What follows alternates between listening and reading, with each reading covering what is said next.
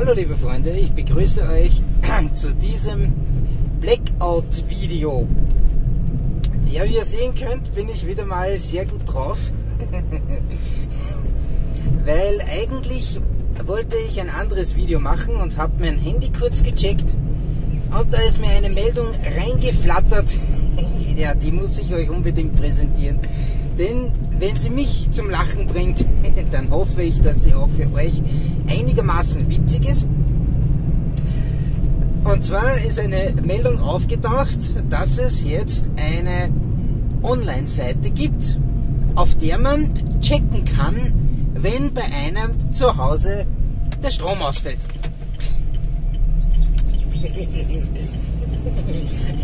Also, also für diejenigen, die nicht checken, dass zu Hause der Strom ausgefallen ist, die können dann ins Internet schauen, wo gerade der Strom ausgefallen ist. Und zwar ist das eine äh, Live-Stromausfall-Seite. Ähm, natürlich kann die Seite noch ein bisschen mehr, außer dass man sich darüber lustig machen kann. Die kann nämlich auch geplante Stromausfälle anzeigen. Na, nicht im großen Stil, keine Angst. So etwas würden sie natürlich nicht ankündigen, sondern da geht es eher um so kleinere äh, örtliche Stromausfälle beziehungsweise eigentlich Stromabschaltungen, äh, so wie es genau genannt wird. Und äh, zwar, wenn beispielsweise irgendwelche Wartungsarbeiten anstehen oder keine Ahnung, ähm, irgendwo ein kleiner Stromausfall ist, beispielsweise bei einem Sturm, und da hatten wir ja einige in, in den letzten Tagen, so etwas kann durchaus sinnvoll sein, allerdings jetzt in Bezug auf etwas Größeres, was wirklich länger dauert, ein Blackout zum Beispiel, ja, in diesem Bereich scheint es dann eher sinnlos zu sein. Warum? Naja, checken kann man das Ganze dann eigentlich nur mehr über Laptop oder Handy oder PC. Nachdem bei einem flächendeckenden Stromausfall innerhalb kürzester Zeit auch das Internet mit sehr großer Wahrscheinlichkeit nicht mehr zur Verfügung steht, scheint mir das Ganze eher ein bisschen komisch zu sein. Also für kleinere Stromausfälle, man muss mir schon ganz ehrlich sagen, wenn irgendwelche Wartungsarbeiten oder was ähnliches ist, ich weiß nicht, wie es in euren Gebieten ist, aber in Linz beispielsweise wird das sehr, sehr oft ähm, insbesondere bei mehreren Wohnparteien angekündigt, dass es eine Stromabschaltung geben kann, beispielsweise aufgrund von einer Baustelle, aufgrund von Wartungsarbeiten oder irgendwas ähnliches. Da brauche ich tatsächlich nicht extra ins Internet zu schauen. Und wenn was Größeres daherkommt, wie beispielsweise ein wochenlanger Blackout, dann brauche ich eigentlich auch nicht ins Internet reinschauen, weil man sieht ja sowieso nichts. Also das Internet wäre ja innerhalb kürzester Zeit weg. Soweit mir das jetzt bekannt ist, sind die meisten Masten, also die meisten äh, Sendemasten, ähm, für kaum länger als 24 Stunden gerüstet. Ich habe mal irgendwo gelesen, äh, dass einige auch für 48 Stunden gerüstet sind. Ob so einer in meiner Nähe ist, kann ich nicht einmal genau sagen. Äh, das heißt, ich muss ohnehin davon ausgehen, dass eigentlich keine Information zur Verfügung steht. Was auch interessant ist, ist äh, etwas, was sich nämlich nicht mit den Aussagen der Polizei oder des Bundesheeres oder des Katastrophenschutzes äh, deckt. Und zwar steht auf dieser Seite, wenn man äh, keinen Strom hat, dann soll man beim Stromanbieter anrufen. Also eigentlich genau das Gegenteil von dem, was die anderen sagen, steht dann auf dieser Seite. Etwas komisch, etwas verwirrend, weil nämlich ausgesprochen solche Informationen äh, normalerweise auch vom Stromanbieter, insbesondere wenn es sich um einen flächendeckenden Blackout handelt, gar nicht beantwortet werden können. Abgesehen davon, dass auch die Stromleitungen äh, Entschuldigung, ich wollte sagen, die Telefonleitungen wahrscheinlich innerhalb kürzester Zeit ohnehin zusammenbrechen, weil jeder irgendwo anruft und wenn sie nicht zusammenbrechen, dann höchstwahrscheinlich innerhalb kürzester Zeit ebenfalls keinen Strom mehr haben und demnach auch gar nicht mehr funktionieren, ist das jetzt nicht unbedingt der allerklügste Rat. Genau aus diesem Grund haben ja die meisten äh, Preppergruppen und teilweise sogar schon, ich sage mal, Ortsgruppen, die sich teilweise auch ein bisschen mit diesem Prepping ähm, beschäftigen, Funkgeräte zur Verfügung.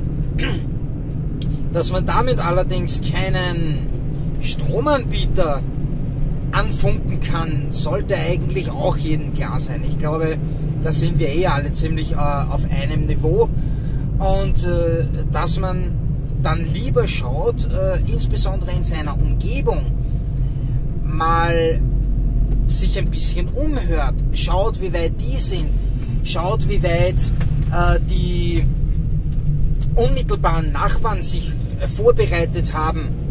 Ja, außer man will mit denen keinen Kontakt haben. Aber ich halte das für früher oder später, äh, insbesondere wenn es um einen längerfristigen Blackout geht, sowieso für unumgänglich, weil die dann ganz einfach vor der Tür stehen und möglicherweise um Hilfe fragen, wenn sie sich eben nicht vorbereitet haben.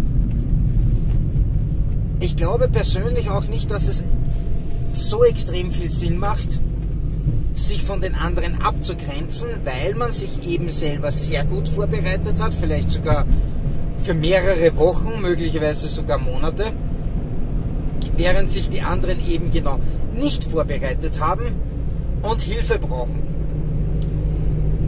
In diesem speziellen Fall, also eines langfristigen Blackouts, glaube ich, dass man alleine sehr, sehr schnell Probleme bekommt, insbesondere mit Leuten, möglicherweise mit Gruppen, die um ihr Leben fürchten, weil sie sich eben genau nicht vorbereitet haben.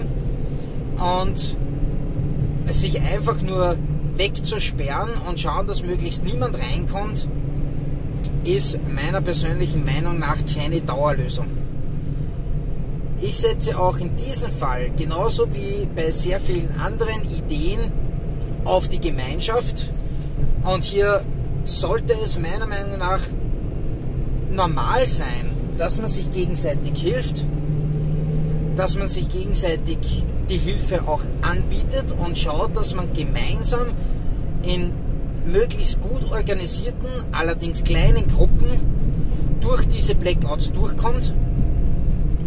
Und ich glaube auch, dass es notwendig ist, ähm, dass man es ein bisschen anders angeht, als die offiziellen Stellen uns das vermitteln wollen, denn genau die wollen ja, dass wir uns äh, selbst möglichst nicht untereinander organisieren, aber selbstmöglich vorbereitet, also praktisch individuelle Vorbereitung ist offensichtlich deren Idee und das halte ich einfach für Blödsinn individuelle Vorbereitung ist gut, ist notwendig, weil man kann sich nicht äh, vorbereiten und dann 100 oder 200 andere Leute durchfüttern.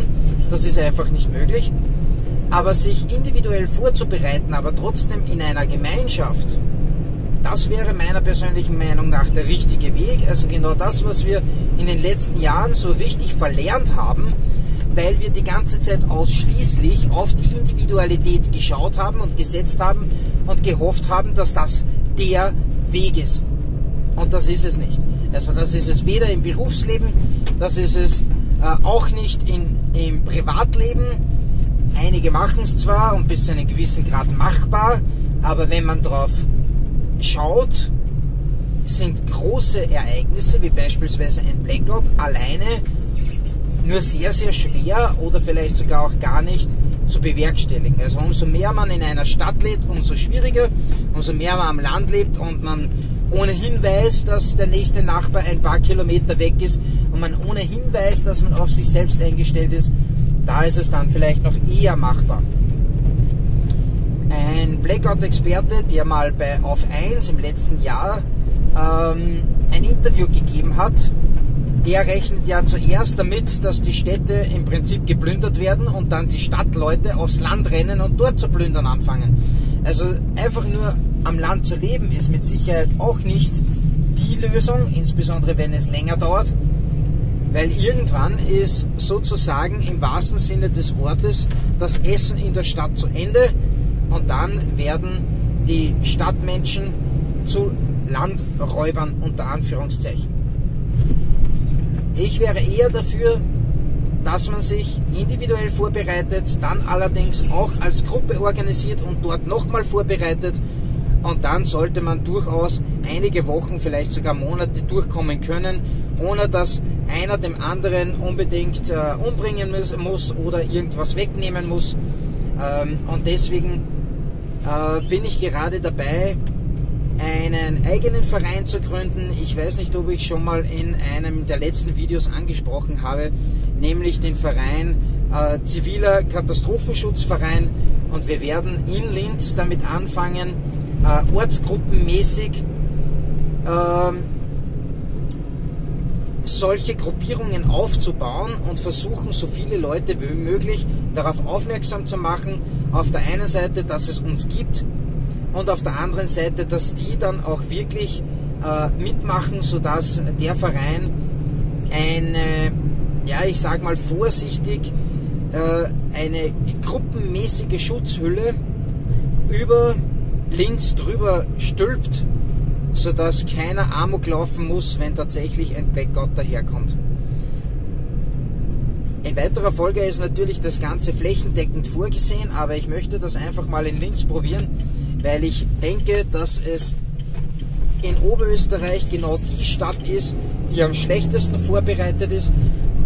Auch wenn es hier ein paar Preppergruppen gibt, auch in Traun gibt es eine, ähm, aber in der Summe der Menschen sind diese Preppergruppen verschwindend klein und von Seiten der Regierung oder von Seiten des Zivilschutzverbandes sehe, hier, sehe ich hier äh, momentan überhaupt keine Ambitionen, dass etwas gemacht wird. Und das ist mir einfach zu wenig, wenn man bedenkt, dass es äh, inzwischen eben genau solche Seiten gibt, wo eben angekündigt wird, dass Stromabschaltungen äh, gemacht werden können. Da braucht nur was daneben gehen und dann ist nicht eine Straße dunkel, sondern ein ganzer Stadtteil oder vielleicht sogar die ganze Stadt. Im Übrigen gibt es sogar eine Seite, die habe ich in Deutschland aufgeschnappt, in Österreich auf diese Art und Weise noch nicht. Aber in Deutschland spricht man sogar ganz offen darüber, wenn äh, irgendwo eine Art Stromknappheit entsteht, dann entscheidet man sich lieber für ein Brownout als für ein Blackout. Und ich glaube, das muss ich äh, den meisten nicht extra erklären. Einfach nur, um es zusammenzufassen äh, für diejenigen, die sich noch gar nicht damit beschäftigt haben. Ein Brownout ist eine gezielte Stromabschaltung und die kann sogar ein ganzes Bundesland erfassen. Also hier äh, spielt man mehr oder weniger schon im Vorhinein mit der Idee, wenn irgendwo, also die begründen das natürlich mit Stromknappheit entstehen sollte, dann äh, hängt man einfach ein ganzes Bundesland vom, vom Stromnetz ab und lässt dort das Stromnetz im schlimmsten Fall kollabieren oder dreht es ganz weg. Und das ist eigentlich eine sehr erschreckende Nachricht, weil wer bestimmt denn wann, wo eine Stromknappheit äh, vorhanden ist. Also ich finde das eher schon als, ähm, ja, fast schon als Ankündigung für ein, eine gezieltes, äh, ja, eine gezielte Stromabschaltung. Äh, es steht nichts Genaues drinnen, wie lange das Ganze erfolgen soll. Ähm, einfach mal auf Verdacht irgendwo den Strom abzudrehen, finde ich allerdings mehr als bedenklich. Ich wünsche euch auf jeden Fall einen schönen Nachmittag. Bis bald. Ah ja, eines wollte ich noch kurz sagen. Äh, falls jemand doch diese Seite anschauen will, ich werde sie unten reinpacken in die Infobox. Bis bald, euer Michael.